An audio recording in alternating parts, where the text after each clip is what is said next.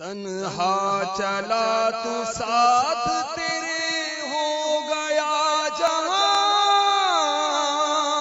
تنہا چلا تو ساتھ تیرے ہو گیا جہاں۔ میٹھا تیرا کلام ہے الیاس قادری۔ الحمد لله رب العالمين والصلاة والسلام على سيد الأنبياء والمرسلين. أما بعد فأعوذ بالله من الشيطان الرجيم. بسم الله الرحمن الرحيم. الصلاة والسلام عليك يا رسول الله. وعلى آلك وصحابك يا حبيب الله. الصلاة والسلام عليك يا نبي الله. وعلى آلك وصحابك يا نور اللہ شیخ طریقت امیر اہل سنت کا رسالہ کربلا کا خونی منظر.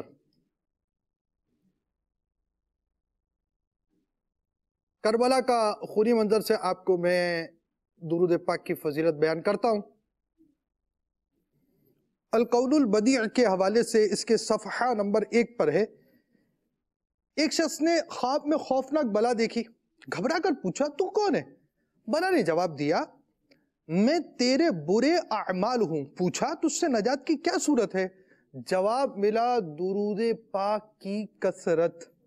صلو علی الحبیب، صلی اللہ تعالی علی محمد۔ و درود شریف کی کثرت ہونی چاہیے ہمارے مدنی انعامات میں سے ایک مدنی انعام یہ بھی ہے کہ روزانہ تین سو تیرہ مرتبہ درود پاک پڑھا جائے تو درود پاک کثرت سے پڑھنے کی اللہ تعالیٰ ہمیں توفیق عطا فرمائے اور اس کا بہترین طریقہ یہ بھی ہے کہ اپنی اوقات کار میں درود پاک پڑھنے کا وقت طے کرے اگر آپ زیادہ وقت طے نہیں کر سکتے، ہر نماز کے بعد کچھ کچھ درود پاک طے کر لیجیے تاکہ نمازوں کے بعد یہ پڑھ لیا کریں اور اپنی مقررہ تعداد جو آپ نے طے کی ہے اپنے لیے، اس ہدف کو آپ پوچھا کر سکیں۔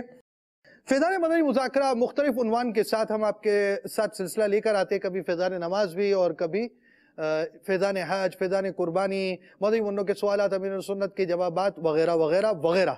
اور ایک ہماری ترکیب ہوتی ہے دلچسپ سوالات اور امیر اہل سنت کے ایمان افروز جوابات، جس میں ہم مختلف مدنی گلدستے آپ کے ساتھ لے کر آتے ہیں۔ ایک خوبصورت انداز میں بہت کچھ سیکھنے کا موقع بھی ہوتا ہے، وقت کم ہوتا ہے، مقابلہ سخت ہوتا ہے، مدنی گلدستے دکھانے کی ترکیب کی نیت ہوتی ہے وہ کچھ رہ بھی جاتے ہیں۔ اور ہم اب چلتے ہیں، آپ کو سب سے پہلے ایک چیز جو بیان کریں کہ ہم نے جو آپ کو رسالہ دکھایا، جس سے فضیلت بیان کی، اس رسالے میں کیا ہے؟ آئیے دیکھتے ہیں۔ تبلیغ قرآن و سنت کی عالمگیر غیر سیاسی تحریک، دعوت اسلامی کے اشاعتی ادارے مکتبۃ المدینہ کی جانب سے آپ کے لیے پیش خدمت ہے چونسٹھ صفحات پر مشتمل۔ شیخ طریقت، امیر اہل سنت، دامت برکاتہم العالیہ کی مایا ناز تعلیف بنام امام حسین کی کرامات۔ آپ اس رسالے میں جان سکیں گے۔ کنویں کا پانی ابل پڑا۔ یزید کی عبرتناک موت، ابن زیاد کی ناک میں سانپ، عاشورہ کے فضائل، اور اس کے علاوہ علم دین کے بے شمار محقتے مدنی پھول۔ آپ اس رسالے کو دعوت اسلامی کی ویب سائٹ www.dawatیslami.net دعوت اسلامی ڈاٹ نیٹ سے اردو کے ساتھ ساتھ عربی، انگلش اور سندھی زبان میں بھی ڈاؤن لوڈ کر سکتے ہیں۔ آج ہی اس رسالے کو مکتبۃ المدینہ کی مختلف شاخوں سے حاصل کیجیے۔ نیز شادی غمی کی تقریبات، اجتماعات آراز اور اجتماعات میلاد وغیرہ میں مکتبۃ المدینہ کے شائع کردہ رسائل تقسیم کر کے ثواب کا ڈھیروں خزانہ حاصل کیجیے۔ براہ راست سلسلوں کا ایک حسن ہوتا ہے۔ بہرحال رسالے کا ایک مدنی گلدستہ ہم دکھاتے ہیں اور ہماری ترکیب یہ ہوتی ہے، اسی سے درود پاک کی فضیلت پڑھ کر سنائی جائے۔ اور ہم آپ کو بڑا لمبا ایک مدنی گلدستہ ہمارے پاس رکھا ہوا ہے۔ لیکن یہ مدنی گلدستہ چلائیں آپ کے لیے تو بہت توجہ سے آپ کو سننا پڑے گا۔ مدنی پھول لکھنے کی اجازت ہوتی ہے ہماری طرف سے، وہ عملی طور پر آپ قبول کرے یا نہ کرے، بہت اہم موضوع کے ساتھ اس مرتبہ آ رہے آپ کے پاس۔ اور تصوف کے موضوع پر امیر علیہ سنت کا ایک سوال۔ سوال کا انداز تو دلچسپ ہے، مگر مدنی پھول بہت اہم ترین ہے موضوع ہے بری سوچ۔ آئیے مدنی گلدستہ دیکھتے ہیں۔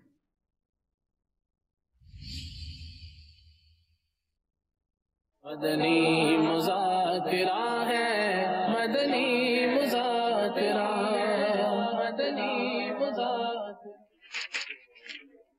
سوچ انسانی شخصیت کی ترجمان ہوتی ہے۔ اگر سوچ مثبت ہو تو تو انسان کو اس کے ثمرات بھی ملتے ہیں۔ لیکن اگر دوسروں کے متعلق آلودہ سوچ ہو، بدگمانی ہی بدگمانی۔ برے خیالات، تو اس سے جسمانی نقصانات کے ساتھ ساتھ روحانی اعتبار سے بھی نقصان ہی ہوتا ہے۔ کیا یہ سویزن ہے؟ پیارے امیر اہل سنت، آپ اس کے بارے میں کیا ارشاد فرمائیں گے؟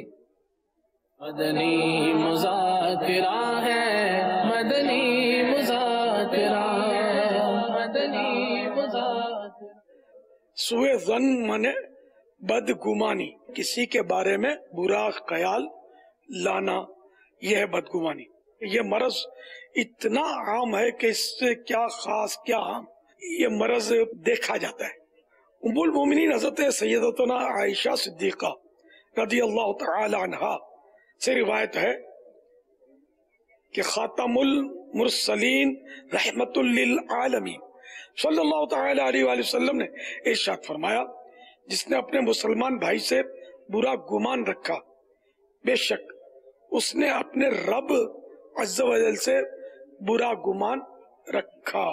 بد گمانی سے مراد یہ ہے کہ بلا دلیل دوسرے کے برے ہونے کا دل میں یقین کرنا، یہ بدگمانی ہے۔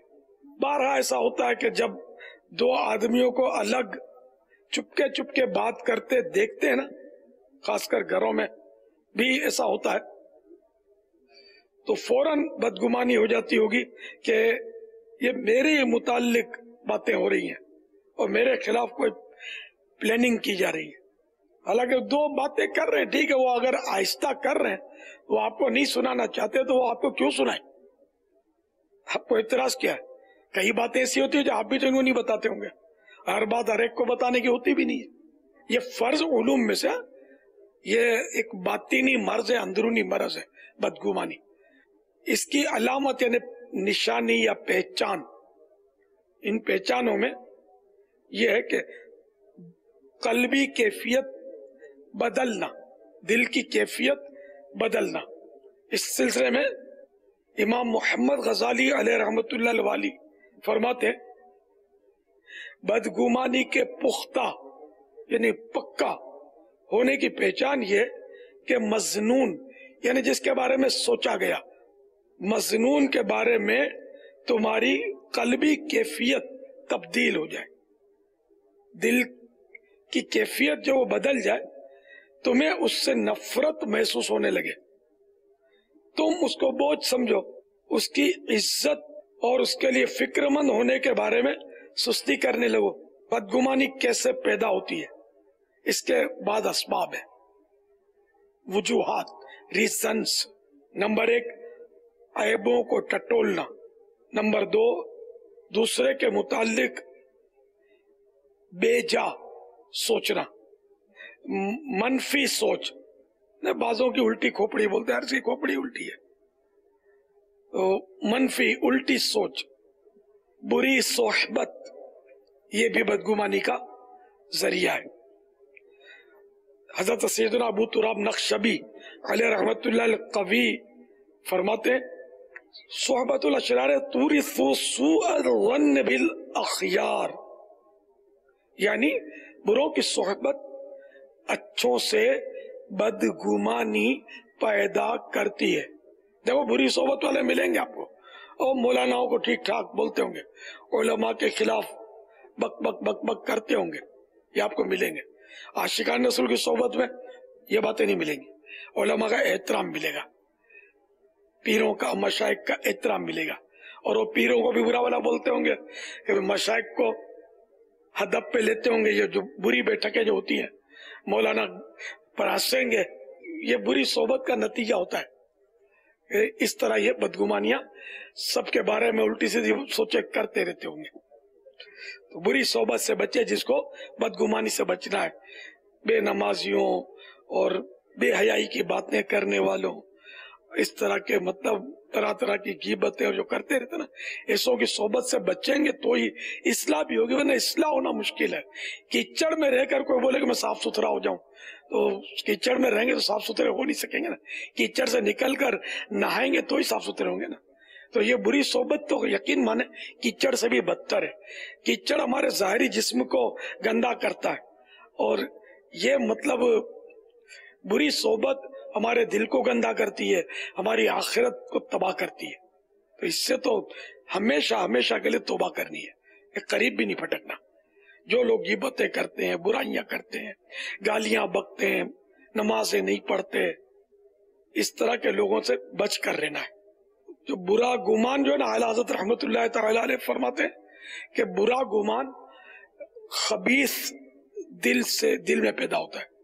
جس کا دل ہی گندا ہے نا، سڑا ہوا، خبیث، وہ لوگوں کے بارے میں برا ہی سوچتا رہے گا۔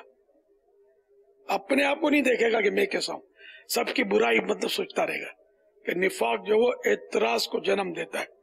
وہ خواہ خواہ کے لوگ اعتراض کرتے رہتے ہیں دوسروں پر۔ بے تکے۔ اب یہ بدگمانی کا علاج مسلمان کی خوبیوں پر نظر کرے۔ جیسے فلاں یہ کرتا ہے، وہ کرتا ہے۔ بھائی یہ نماز پڑھتا ہے، نماز تو پڑھتا ہے۔ داڑھی رکھی ہے۔ ہاں داڑھی بھی رکھی ہے۔ امامہ شریف باندھا ہے۔ ہاں بھائی، امامہ بھی باندھتا ہی ہے۔ اچھا کبھی اس کو کوئی سنتوں بھرے اجتماع میں دیکھا ہے؟ یہ تو پابند ہے اس کا۔ اچھا مدنی قافلے کا پکا مسافر ہے بھائی۔ ایک مثال دیتا ہوں۔ اب اس کی برائیوں پر تو بھائی، یہ پتہ ہے، مکھی کی صفت کیا ہے؟ پورا حسین جسم ہے، خوبصورت بدن ہے۔ مکھی کہاں بیٹھے گی؟ آپ کے حسن سے، اس کو کوئی دلچسپی نہیں ہے۔ آپ کے پھوڑا ہوگا نا یا کوئی زخم لگ گیا ہوگا، پیپ بھرا ہوگا۔ یہ مکھی ڈھونڈ ڈھانڈ کے اس پہ بیٹھ کے پیپ چوسے گی تو یہ مکھی شاہ ہوتے ہیں جو دوسروں کی بدگمانیاں کرتے رہتے ہیں اور برائیوں پر نظر، تو ہم کو مکھی چھاپ نہیں بننا ہے۔ ہم کو مدنی چھاپ بننا ہے۔ ہاں۔ بدگمانی نہیں کرنی۔ تو جتنا ہو سکے اچھا گمان قائم کرنا چاہیے۔ واللہ تعالی اعلم و رسول و اعلم۔ عز و جل صلی اللہ تعالی علیہ وآلہ وسلم۔ تو مدنی چھاپ بن جائیے اور امیر علیہ سنت کے مدنی مذاکروں کی عادت بنائیں، اجتماعی مدنی مذاکروں میں اول تاخیر شرکت کیا کریں، ہفتہ وار مدنی مذاکرے میں تو اول تاخیر شرکت ہونی ہے۔ اس کے علاوہ بھی آپ کوششیں فرمائیں اور طے شدہ جدول کے مطابق آپ اس کی ترکیب رکھا کیجیے۔ جو جامعۃ المدینہ سے وابستہ ہے مدنی چینل کے ناظرین کو تو اول تاخیر شرکت ہی کرنی ہوتی ہے۔ اور مدنی منوں کا ایک مختصر سا مدنی خاکہ بھی ہم نے آپ کے لیے تیار رکھا ہوا ہے۔ آئیے آپ کو دکھاتے ہیں۔ کیا نابالغ اپنی چیز کسی کو دے سکتا ہے؟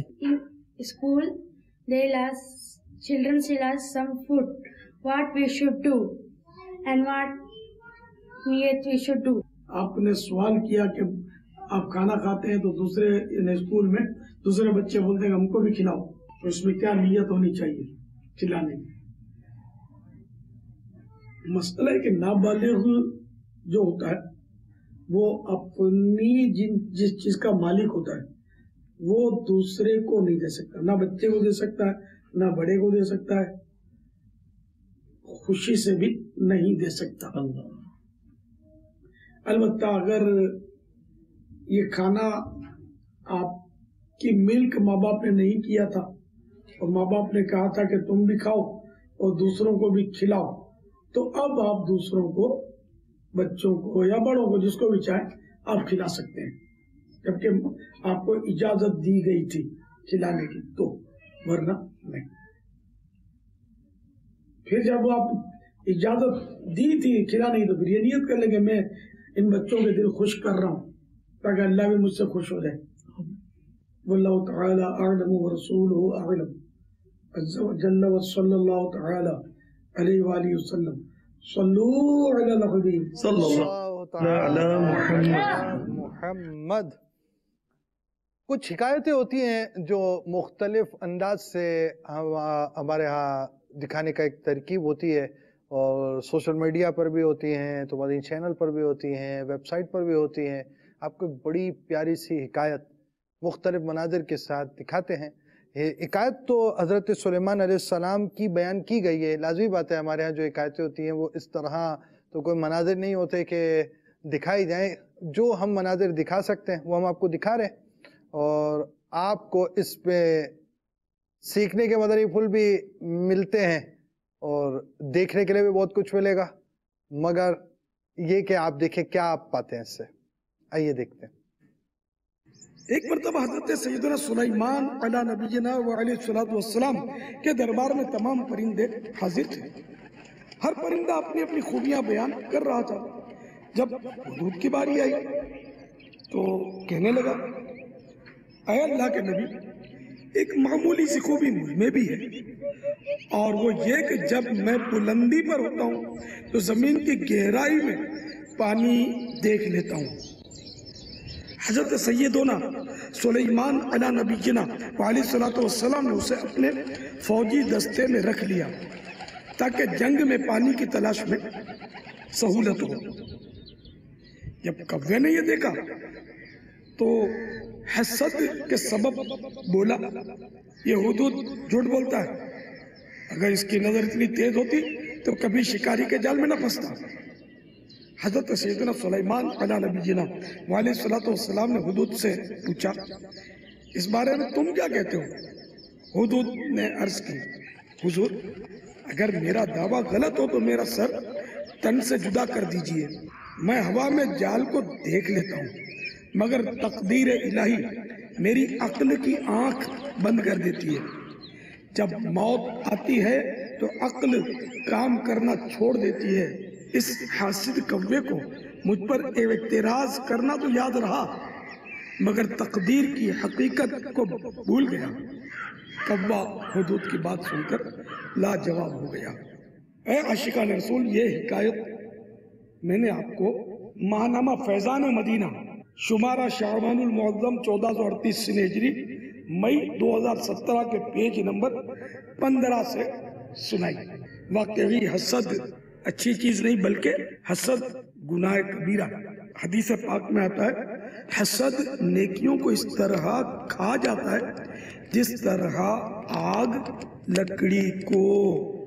حسد کی تعریف یعنی ڈیفینیشن یہ ہے کہ کسی کی خوبی، کسی کی نعمت دیکھ کر یہ تمنا کرنا کہ اس کی یہ نعمت، یہ خوبی اس سے جاتی رہے۔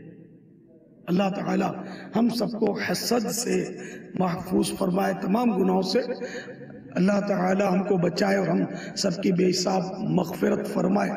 اے عاشقان رسول، مدنی چینل دیکھتے رہیے۔ اور ابھی تک مانا فیضان مدینہ آپ نے جاری نہیں کروایا۔ تو دعوت اسلامی کے مکتبۃ المدینہ کی کسی بھی شاخ سے رابطہ کر کے جاری کروا لیجیے۔ صلو علی الغبیب صلی اللہ تعالی علی محمد۔ آئیے آپ کو دکھاتے ہیں ایک شعر مختلف مناظر کے ساتھ۔ آپ ایک شعر سنو۔ ہر خطا پر میری چشم پوشی۔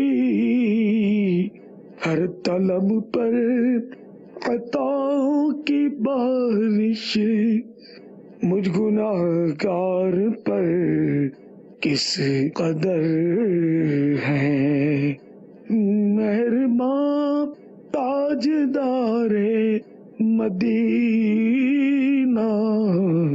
مجھ گناہ گار پر کس قدر ہے مہربان تاجدار مدینہ۔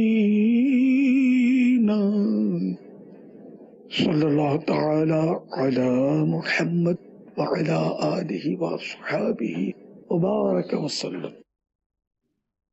امیر علیہ سنت دعوت برکات والعالیہ کے مدنی مذاکرے، آپ کے تحریری بیان، آپ کے تحریری مدنی گلدستے، بلکہ ڈب مدنی گلدستے۔ دوسری زبانوں کے اندر، دیگر مبلغین کی آواز کے اندر جو ڈب ہوتے ہیں، اور آپ کے کتب و رسائل ترجمہ شدہ، آپ یہ ساری چیزیں ایک جگہ دیکھنا چاہتے ہیں، اور ہمارے سلسلے کی بھی جو جو چیزیں اس کے اندر آتی ہیں مختلف اقسام کی، وہ بھی آپ www.liaskadi.com سے حاصل کر سکیں گے، ڈاؤن لوڈ کر سکیں گے، آڈیو بکس بھی حاصل کر سکیں گے۔ اور ساتھ ساتھ یہ ہے کہ امیر علیہ سنت کے بیانات، انگلش سب ٹائٹل انگریزی ترجمے کے ساتھ جو ہے وہ بھی آپ کو میسر آ سکیں گے اور اس کے انداز، اس مدنی گلدستے کو ہم آپ کی طرف بڑھاتے ہیں مختلف انداز سے اور امیر السنت کے ان مدنی، ان آپ امیر السنت کے ان بیانات کی بہت سی مدنی بہاریں بھی آپ نے شاید پڑھی ہوں۔ اتنے بیانات اب آپ شاید نہ سنتے ہوں، مگر یہ بیانات آپ کے امیر سنت کے آپ یہ بیانات اس ویب سائٹ پر جا کر بھی سن سکتے ہو۔ میموری کارڈ تو آپ کے پاس فیضان مدنی مذاکرہ ہونا ہی چاہیے۔ فیضان مدنی مذاکرہ میموری کارڈ کے اندر بھی آپ امیر سنت کے یہ بیانات وغیرہ سن سکتے ہیں۔ آئیے آپ کو اس کا ایک مدنی گلدستہ دکھاتے ہیں۔ دلا غافل نہ ہو یکدم یہ دنیا چھوڑ جانا ہے۔ جنازہ نظر آیا اور جنازے کے نیچے نیچے ایک چھوٹی سی بچی آنکھوں میں آنسو جاری تھے۔ وہ روتی ہوئی اور اس جنازے کے ساتھ روڑ رہی تھی۔ اور اس طرح کے کچھ الفاظ وہ کہہ رہی تھی کہ افسوس میں برباد ہو گئی۔ آج میں یتیم ہو گئی اور آج جو وقت مجھ پر آن پڑا ہے، ایسا کبھی نہیں آیا تھا۔ منی جو تھی وہ روتی ہوئی تیز تیز قدم قبرستان کی طرف جا رہی تھی۔ آخر کار قبرستان آ گیا۔ وہ بچی اپنے والد کی قبر پر پہنچی۔ وہ بچی اپنے والد کی قبر سے چمٹ گئی اور زار زار روتی ہوئی اپنی زبان میں۔ کچھ اس طرح اس نے کہنا شروع کیا۔ اے بابا جان، کل آپ کے پاؤں میں جب درد تھا تو میں نے آپ کے پاؤں دبائے تھے۔ آج رات قبر میں آپ کے پاؤں کس نے دبائے ہوں گے۔ بابا جان کل چراغ میں تیل ختم ہو گیا تھا تو آپ نے مجھے بلایا تھا۔ میں نے آ کر جھٹ جھٹ چراغ دوبارہ روشن کر دیا تھا۔ آج رات آپ نے بغیر چراغ اندھیرے میں کیسے بسر کی؟ اے بابا جان، کل آپ کو بھوک لگی تھی تو آپ نے مجھے پکارا تھا۔ میں دوڑتی ہوئی آئی تھی اور آپ کے لیے کھانا لائی تھی۔ بابا جان، آج رات آپ کو بھوک لگی ہوگی۔ کس نے کھانا کھلایا ہوگا۔ اے بابا جان کسی کی قبر میں جنت کی کھڑکی کھلتی ہے اور جنت کا بچھونا بچھایا جاتا ہے اور کسی کی قبر میں دوزخ کی کھڑکی کھلتی ہے۔ اور جہنم کی آگ کا بستر بچھا دیا جاتا ہے۔ تو اے بابا جان، آپ کی قبر میں جنت کی کھڑکی کھولی گئی یا جہنم کی کھڑکی کھلی ہوئی ہے؟ اے بابا جان، آپ کو جنت کے بچھونے پر لٹایا گیا ہے یا آگ کے بستر پر ڈال دیا گیا ہے؟ دلا غافل نہ ہو یکدم، یہ دنیا چھوڑ جانا ہے۔ صلو علی الحبیب صلی اللہ تعالی علی محمد، جامعۃ المدینہ، بنارس ہند والے بھی ہمارے ساتھ ہیں، اس طرح ٹانڈا، آگرہ وغیرہ بھی، اور راول پنڈی اور دیگر جگہوں سے پاکستان سے بھی جامعۃ المدینہ کے طلبہ کرام کی ہمارے سلسلے میں شرکت ہوئی۔ امیر علیہ سنت، دعوت برکات العالیہ کے مختلف مدنی گلدستے ہم آپ کو مدنی مذاکروں کے اور مختلف حکایات اور یہ بھی دکھاتے اور ساتھ ساتھ امیر سنت کے تعلق سے علماء اہل سنت کے تاثرات وغیرہ بھی ہمارے سلسلے کا حصہ ہوتے ہیں۔ علماء اہل سنت کس انداز سے امیر سنت کے اس کام کو اور عاشقان رسول کی مدنی تحریک دعوت اسلامی کے ان کاموں کو سراہتے ہیں۔ ہم اس کی آپ کو جھلک بھی بڑھاتے ہیں آپ کی طرف۔ آئیے تاثرات سنتے ہیں۔ دعوت اسلامی کو اور دعوت اسلامی کے امیر حضرت علامہ مولانا محمد الیاس قادری صاحب دامت برکاتم العالیہ کو دیکھتے ہیں تو ہمیں خوشی ہوتی ہے، مسرت حاصل ہوتی ہے اور میں یہ بات خلوص کے ساتھ اور سمیم قلب کے ساتھ کہتا ہوں اور اس میں مجھے کوئی باغ نہیں ہے۔ کہ حضرت علامہ مولانا محمد الیاس قادری صاحب، امیر دعوت اسلامی نے وہ انقلاب بپا کیا ہے جس پر ہم سب کو عال سنت و جماعت کو، بلکہ پورے عالم اسلام کو، جو لوگ بھی دین اسلام سے وابستہ ہیں، ان کو اس بات پر فخر ہے۔ اس میں جو سب سے بنیادی چیز ہے، وہ آپ کا عمل ہے۔ کیونکہ تبلیغ کے پیچھے جس طرح قرآن نے بیان کیا کہ دعوت کے ساتھ ساتھ و عمل صالحہ، اچھے اعمال کا ہونا ضروری ہے۔ کیونکہ جس طرح ایک مبلغ کی گفتگو، اس کے اندر حکمت ہونی چاہیے، دانائی ہونی چاہیے اور معاوضہ حسنہ ہونا چاہیے، وہ مؤثر ہوتی ہے اور لوگ اس سے فائدہ اٹھاتے ہیں۔ ایک بہت بنیادی چیز اس کے اندر مبلغ کا اپنا عمل ہوتا ہے۔ اگر مبلغ کا عمل اس کی دعوت کے مطابق نہ ہو، تو وہ تبلیغ زیادہ مؤثر نہیں ہوتی۔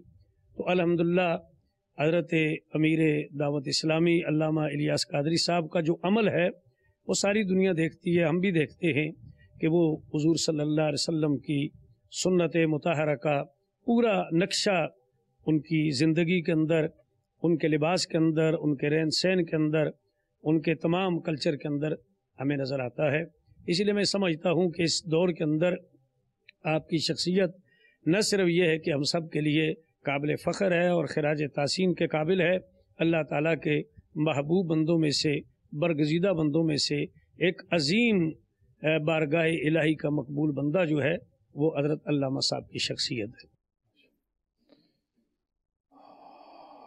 آپ نے تاثرات، سماعت کیے اور اسی طرح بعض زندگی کے پہلو ہوتے ہیں۔ جو اس طرح کی شخصیات ہوتی ہیں، ان کی زندگی کے پہلو ہمارے لیے، سیکھنے کے لیے، ہمارے لیے بہت کچھ پانے کا سبب بنتے ہیں۔ اور ہم آپ کے آگے جو ہے وہ اس چیز کو بیان کرنے کی کوشش کرتے ہیں۔ امیر سنت کی زندگی کے بعض گوشے آپ کے سامنے آئیں تاکہ ہم اس سے کچھ حاصل کر سکیں اور اپنی زندگی کے اندر اسے نافذ کر سکیں۔ اور ہمارے ہاں ایک جو اس کی صورت ہوتی ہے وہ یہ ہوتی ہے کہ ہم آپ کو ایک مدری گلدستہ تذکرہ امیر علیہ سنت کے نام سے دکھاتے ہیں۔ تذکرہ امیر سنت کے نام سے جو دکھانے والا مدری گلدستہ ہوتا ہے، اس میں مختلف وہ اسلام بھائی جنہوں نے کچھ وقت امیر سنت کے ساتھ گزارا۔ کبھی آپ کا کسی شہر میں سفر ہوا، وہاں وقت گزارا۔ اور اس انداز سے جو صورت ہوتی ہے، انہوں نے کیا پایا؟ اور کیسی صورت رہی، وہ اس چیز کو بیان کرتے ہیں اور اس میں ہمارے لیے سیکھنے کی بہت چیزیں ہوتی ہیں۔ آئیے آپ کو تذکرہ امیر سنت مدنی گلدستہ دکھاتے ہیں۔ میرا نام محمد موسیٰ ابتاری ہے۔ میں زمزم نگر حیدرآباد باب الاسلام سندھ سے میرا واسطہ ہے۔ امیر علیہ سنت سے پہلی ملاقات میری ہوئی تھی انیس سو پچاسی میں حیدرآباد میں۔ امیر علیہ سنت سے ملاقات کرنے سے پہلے کبھی دیکھا نہیں تھا، سنا تھا تو امیر علیہ سنت سے جب ملاقات ہوئی تو آنکھوں سے آنسو نکل گئے اور اس طرح انہوں نے شفقت فرمائی۔ امیر علیہ سنت کے ساتھ کافی سفر رہا ہے۔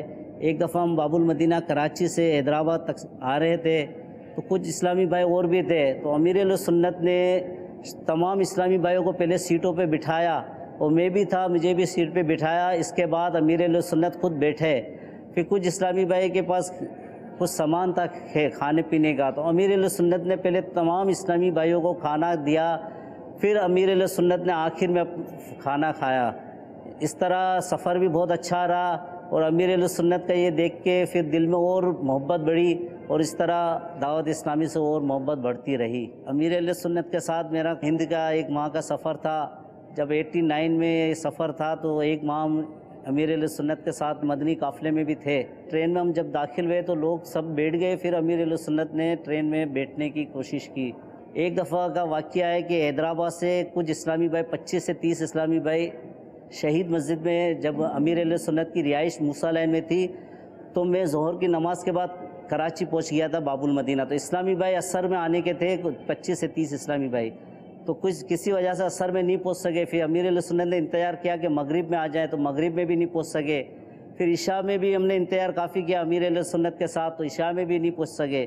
پھر امیر علیہ سنت نے مجھے فرمایا کہ آپ ایسا کرو کہ آپ یہاں رک جاؤ، اس لیے کہ وہ لوگ پچیس سے تیس اسلامی بھائی آ رہے ہیں تو یہ پریشان نہیں ہو جائے۔ تو امیر علیہ سنت کے ساتھ اس وقت تقریباً بیس سے پچیس اسلامی بھائی پنجاب سے بھی آئے تھے۔ امیر علیہ سنت نے فرمایا تھا کہ پنجاب والوں کے لیے میں نے کھانا کیا اور حیدرآباد والوں کے لیے کھانا کیا۔ تو آپ ایسا کریں کہ ان کو میں پنجاب والوں کو لے کے جا رہا ہوں۔ آپ یہ حیدرآباد والے آ جائے تو آپ ان کو لے کے گھر پہ آ جانا۔ تو وہ تقریباً یہ رات کے دس بجے پہنچے تھے۔ اس ٹائم عشاء کی نماز تقریباً پونے آٹھ بجے تھی شہید مسجد میں۔ تو یہ لوگ پہنچے تو ہم امیر علیہ سنت کے آستانے میں پہنچے تو پنجاب والوں نے کھانا کھا چکے تھے۔ پھر امیر علیہ سنت نے مجھے فرمایا کہ آپ ایسا کرتے ہیں کہ دونوں شہزادے اور امیر علیہ سنت اور میں تھے کہ ان کو اپن کھانا کھلا دیتے ہیں، حیدرآباد والوں کو پھر اپن کھانا کھائیں گے۔ امیر علیہ سنت اور تینوں ہم نے حیدرآباد والوں کو کھانا کھلایا تھا۔ حیدرآباد والے کھانا کھا چکے، پھر یہ شہید مسجد چلے گئے۔ میں اور دونوں شہزادے اور امیر علیہ سنت چاروں نے پھر امیر علیہ سنت کے آستانے پہ کھانا کھایا۔ پھر کھانا کھانے کے بعد امیر علیہ سنت اور میں اور ایک اسلامی بھائی اور تھے، ہم شہید مسجد پہنچے۔ اس طرح پھر وہ رات کو، تقریباً رات کے دیر تک ہم بیٹھے تھے۔ امیر علیہ سنت نے بہت شفقت فرمائی تو حیدرآباد والے بھی بہت خوش ہوئے۔ اس لیے کہ یہ اثر میں آنے کے تھے کسی وجہ سے یہ رات کے دس بجے پہنچے۔ امیر علیہ سنت نے ان کے کھانا کھانے کے بعد امیر علیہ سنت نے خود کھانا کھایا۔ مدینی شیب میں جب مسجد نبی صلی اللہ علیہ وسلم میں حاضری ہوتی تھی تو ادب سے اور ننگے پاؤں، مدینہ شیب مکے شیب میں ننگے پاؤں ہی دیکھا ہے میں نے۔ عرفات میں بھی ننگے پاؤں دیکھا ہے اور عرفات کے میدان میں دعائیں دعا کرتے ہوئے دیکھیے، کافی اسلامی بھائی وہاں پر ہم پوچھتے تھے تو وہ پوچھتے تھے کہ الیاس قاضی صاحب کہاں ہیں؟ الیاس قاضی صاحب کہاں ہیں؟ کافی لوگ بےتاب ہوتے تھے ملاقات کے لیے۔ مدینہ شریف سے جب امیر علیہ سنت کی واپسی تھی تو ہم نے دیکھا تھا کہ جیسے اس طرح رو رہے تھے، اس طرح روتے تھے کہ بیان نہیں کر سکتے۔ ہم بھی اس ٹائم ساتھ تھے اور کافی روتے تھے، کہ یہاں تک کہ گاڑی چل رہی تھی، گاڑی میں بھی رو رہے تھے۔ امیر علیہ سنت چلنے کا انداز یہ ہوتا تھا، جب بھی چلتے تھے آپ تو آہستہ آہستہ چلتے تھے اور نگاہیں نیچے ہوتی تھی اور گاڑی میں بھی دیکھا ہے کہ ادھر ادھر جو شیشوں میں لوگ دیکھتے ہیں، امیر علیہ سنت کو کبھی نہیں دیکھا کہ ادھر ادھر دیکھتے ہوں گاڑی سے بھی۔ دیکھیں، آپ کے وہ پوری چیزیں ملتی نہیں ہیں۔ کچھ چیزیں ہمارے ہاں کٹ جاتی ہیں، کچھ چیزیں کاٹ لی جاتی ہیں۔ یہ جو انہوں نے پنجاب والوں کا کھانا اور وہ زمزم نگر والوں کا کھانا جو بیان کیا نا، وہ اصل یہ تھا کہ امیر سنت نے نا روٹی کا بھی انتظام کیا تھا، چاول کا بھی۔ کیوں زمزم نگر والوں کو چاول پسند ہے تو ان کے لیے چاول کا آئٹم پنجاب والوں کو روٹی پسند ہے تو روٹی کا آئٹم تو جس کو جو پسند ہے اس طرح کھانے کی ترکیب ہوئی تھی، اس طرح یہ دو کھانے الگ الگ ہوئے تھے اور اس کی ترکیب تھی، ورنہ ایسی کوئی تفریق خاص طور پر نہیں ہوتی کہ بھائی یہ ان کو الگ کھلانا ہے، ان کو الگ کھلانا ہے، سب ایک ساتھ ہی کھاتے دسترخوانوں پر آپ دیکھتے ہی ہوں گے مودی چینل پر بھی۔ اور یہ اس وجہ سے تھا کہ وہ جس طرح کا کھانا پسند کرتے ہیں، اس طرح کے کھانے کے انتظام کی وجہ سے یہ ترکیب ہوئی تھی۔ اور ہم آپ کو لے کر چل رہے ہیں امیر سنت کے پوتے پوتیوں کی طرف یعنی مدنی گلدستے کی صورت میں۔ اور صرف پوتے پوتیوں کی طرف بھی جا رہے جن کے پوتے پوتی ہیں، ان کا بھی یہ مدنی گلدستہ ہے۔ آئیے دیکھتے ہیں۔ پیارے باپا جان، ہم مسلموں میں مختلف کام کر رہے ہوتے ہیں۔ کبھی پینٹنگ کرتے ہیں، کبھی پڑھتے ہیں اور کبھی کھیلتے ہیں۔ اور بعض مسلموں نے مائک پر ناطے بھی پڑھتے ہیں جیسا کہ آپ کے پوتے اور پوتیاں مائک پر ذکر اللہ کر رہے ہیں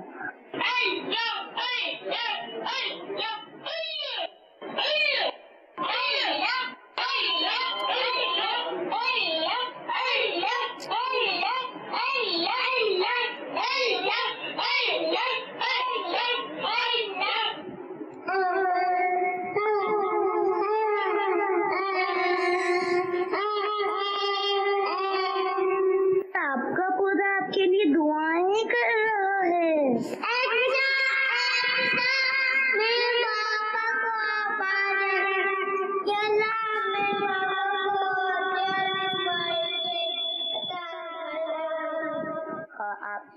کی پوتی کر رہی ہیں۔ تو پیارے پاپا جان، ہمیں کیا کرنا چاہیے؟ اور اگر کوئی اس طرح فیصلہ کرے، تو کیا اسی طرح کرنے دیا جائے یا صحیح طریقے سے کروایا جائے؟ جزاک اللہ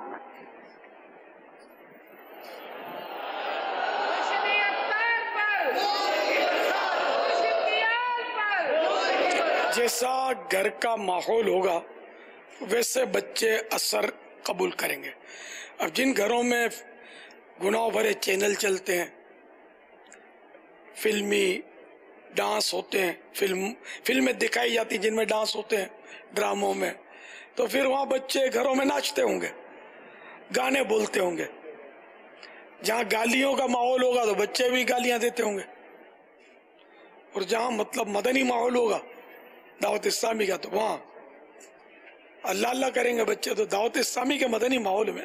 الحمدللہ آپ کو بکثرت مدنی منع مدنی منیا اس انداز کے ملیں گے جو آپ کو دکھایا گیا کہ ان کے گھروں میں وقتاً فوقتاً ایسا ہوتا رہتا ہوگا۔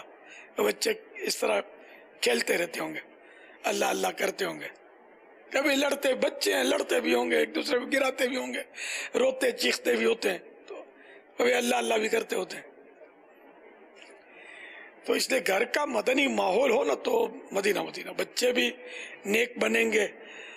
بڑے جب نیکیاں کریں گے تو بچے اس کو دیکھ دیکھ کر نیکیاں کریں گے۔ اچھا۔ اور آیا کہ ان بچوں کو درست سکھایا جانا کہ وہ سجدہ جو کر رہی تھی، یہ میری پوتی حبیبہ بھائی، گیارہ مہینے پتہ نہیں سال بھر کے آس پاس کی ہے۔ سجدہ کیا کر رہی تھی بیچاری؟ وہ نماز اس کی امی کو دیکھتی ہوگی تو یہ بھی کرتی ہوگی اس طرح۔ نہ اس کو پتا کہ سجدہ کیا ہوتا ہے۔ تو اب اس کو درست سجدہ سکھانا بڑا مشکل ہے۔ یہ اپنے انداز میں بھی چلو، سر تو جھکا رہی ہے۔ آہستہ آہستہ جب سمجھدار ہوگی نا، بچے اتنا سمجھ کہ ان کو سمجھ بھی آئے کہ کچھ یوں بھی کرنا چاہیے، یوں بھی کرنا چاہیے۔ تاہم، سمجھدار بچے کو، بچی کو اگر وہ اس طرح نماز اور اس کے انداز کرتے ہیں، تو صحیح بات یہی ہے کہ ان کی امی ابو کو چاہیے کہ ان کو بہتر سے بہترین انداز میں کرنے کی ترغیب دیں۔ یہ کہیں ایسا نہ ہو کہ ابھی سے چھوٹی سی عمر میں یہ غلط کریں تو ان کا غلط ہی وہ سانچے میں ڈھل جائیں۔ جتنا ہو سکے ان کی عقل اور سمجھ کے مطابق ان کی تصحیح کر دی جائے۔ مدینہ مدینہ۔ صلو علی الحبیب صلی اللہ تعالی علی محمد. تو شروع ہی سے تربیت کا نظام ہونا چاہیے اور اگر ہم طلبہ کرام ہیں جامعۃ المدینہ کے تو اولا ہی سے ہمیں بہت سے کاموں کی، اپنی نمازوں کی، اصلاح کی، دیگر چیزوں کی بھی ہمیں ذہن بنانا چاہیے۔ شروع سے ہی اپنی اور ساری دنیا کے لوگوں کی اصلاح کی کوشش کے لیے ہمیں اقدامات کرنے چاہیے۔ مدنی کاموں میں بھی ہماری شرکت ہوتی رہے۔ ہم آخر میں آپ کے لیے کوئی مدنی گلدستہ لاتے ہیں۔ آج جو ہم آپ کو بالکل آخر میں ایک مدنی گلدستہ دیتے ہوئے اپنے سلسلے کو اختتام کی طرف جا رہے ہیں، وہ ہے محفل مدینہ چودہ سو اڑتیس سن ہجری کے مناظر۔ اس کا ایک مدنی گلدستہ آپ کو دکھاتے ہیں۔ سب سے پہلے تو میں آپ کو مبارکباد پیش کرتا ہوں کہ ماشاءاللہ آپ کے لیے حج کی ترکیب بن رہی ہے۔ امیر اہل سنت سے میں عرض کر رہا ہوں ایک کلام آپ سفر مدینہ کے وقت پڑھتے ہیں اگر اس کے اشعار سنا دیں آپ۔ مدعزیست کا میں نے پایا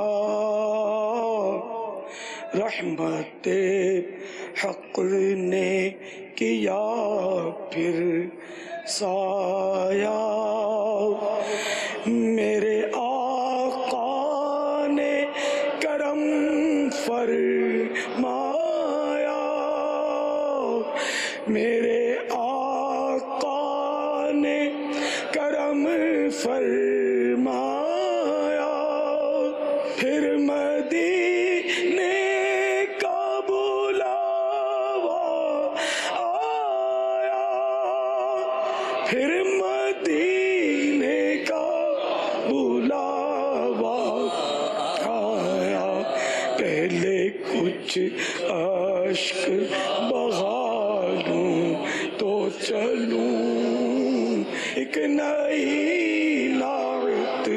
سنا لوں تو چلوں۔ ایک تو مدنی التجا حجیوں سے یہ کرنی تھی کہ مہربانی کر کے مجھ گناہگار کا سلام میرے آقا کو ضرور عرض کیجیے گا۔ نیز شیخین کریمین، سیدنا عثمان غنی، سیدنا امیر حمزہ، شہداء اخت اہل بقیع و معالہ جہاں جہاں حاضریاں ہوں، ہم سب کا سلام عرض کیجیے گا میں اسیر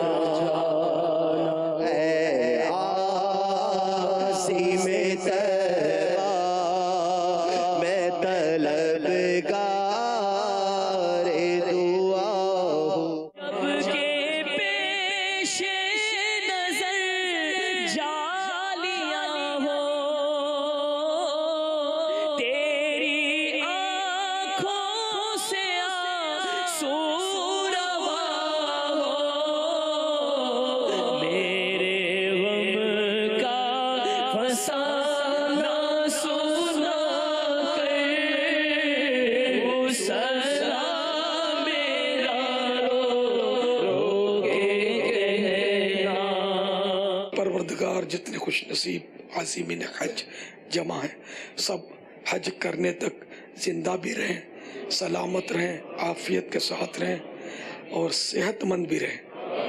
اے کاش شب تنہائی میں فرقت کالم تڑپاتا رہے۔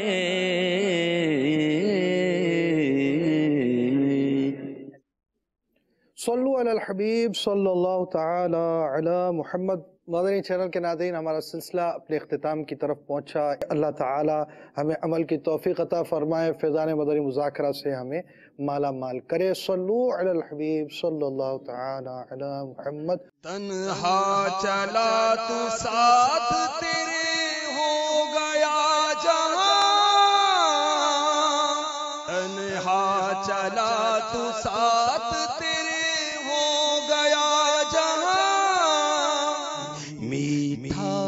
تیرا کلام ہے الیاس قادری۔